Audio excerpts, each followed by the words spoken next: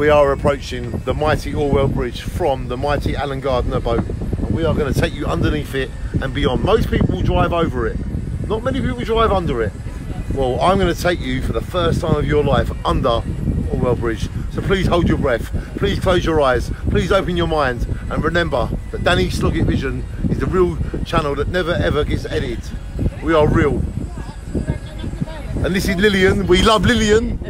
And we love her beautiful daughter and her son-in-law. We love you all. And we love Gemma. And you might love me. Mwah. Your lips are like wine. Wine to be tasted. When not a mind, it's wine to be wasted. Shine on.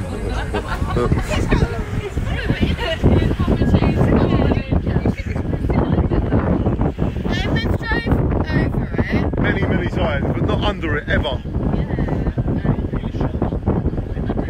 It's gonna be amazing. Look at that.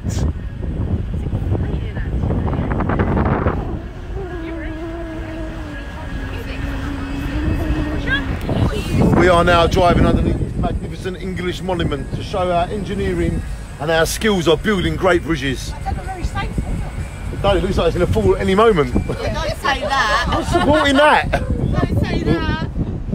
You're gonna scare me.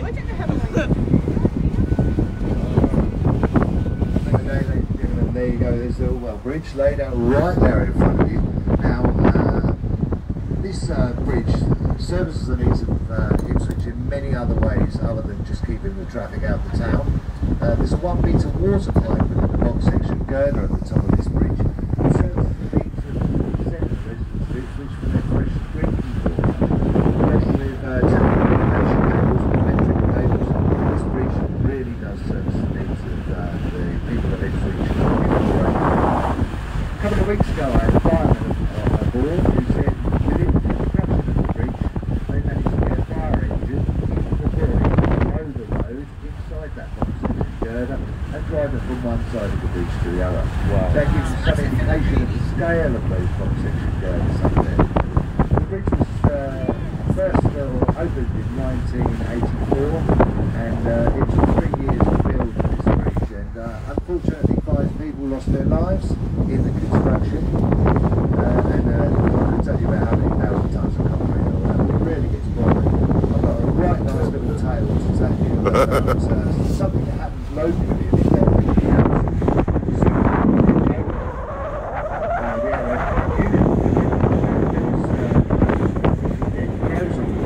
one end to the other. And uh, apparently the uh, phones started ringing at the council's office soon after it opened. The council didn't know what to do about this, but after two weeks of the phones still keep ringing, they decided they'd better come down to the bridge and have a look. Not knowing much about the birds, they decided to bring a local ornithologist with them, and uh, that's the bird specialist. When they got down to the bridge in, they, in yellow jackets, they could not believe what they were seeing. Sure enough, there was dead crows from one to the other. The council members uh, looked at the uh, ornithologist and asked if he could explain this phenomenon. And he said, well, to be fair, I've never seen anything like it. He said, normally, the crow family are a very intelligent bunch of creatures. And whilst most are on the ground feeding, there'll be several in the air keeping an eye out for predators and such. So the council said, well, that doesn't really help us. So they decided to take some paint samples from the beaks of these poor unforgiving creatures and uh, it was said that it was going to take two weeks for this to come back from the lab.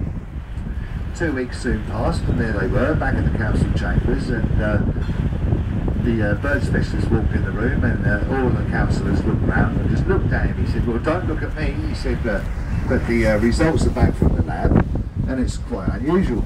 It turns out that 97% of these birds are being and such forth, and only 5%, uh, only 3% are being killed by cars. Council looked at each other and they said, no, we're still a bit confused. Is there anything else you can elaborate on to give us an idea to tell our residents what earth is going on? So the uh, ornithologist or bird specialist turned around and he said, well, it's quite simple really and it's rather embarrassing for you lot he said because like everybody knows that crows can say caw caw but apparently they can't.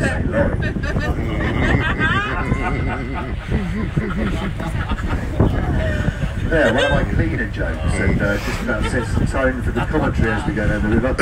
and uh, as we go down the river, I've got a little bit more for you. I've got a bit of a love story if anybody's interested regarding Go the for building. it! And uh, a bit about uh, the Germans and uh, even uh, a little bit about piracy. So we've got a little bit about all sorts as we go down the river, and I hope you're finding it interesting. I'm going to uh, shut up at the moment and leave you to enjoy the ambience of the river until we get down to our next point of interest. But uh, if there's anything else you're interested in, we've always got our friend Google. haven't we? Oh, oh, oh, Bob. Um, can't remember. Danny Sloggett. Hey? Uh, Danny Sloggett. Danny slugging on the bow. Yeah. Turned up Thank you, Tony. That man's a legend. Shine on.